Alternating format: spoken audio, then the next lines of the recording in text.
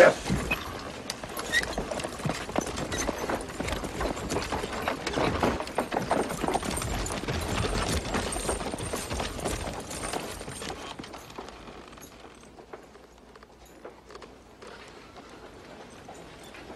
I want you to know it's over. Well, bye.